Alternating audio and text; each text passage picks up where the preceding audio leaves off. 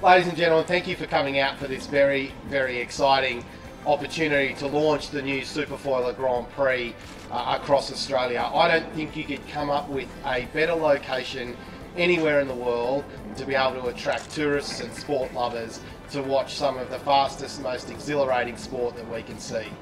I reckon if you thought about surveying people who had watched sailing, particularly the old 18 foot racing that used to happen uh, in the summer was a bit of an Australian institution. Uh, the brand recall from uh, the sponsors from that is still, I think, one of the strongest brand recalls I could associate with any form of sport. So, to the McCarthy uh, boys, if you're able to generate that off the back of uh, this Superfoiler Grand Prix, I've got absolutely no doubt that you'll have people knocking down the doors uh, to get their brands associated with these fantastic machines. Uh, it's also an opportunity to showcase uh, Australian innovation and technology and manufacturing, which is nothing short of world class. There isn't a sport going around that enables men and women to compete with the same technology on the same playing field and really test skill. So congratulations and I look forward to seeing it on our TV screens over summer.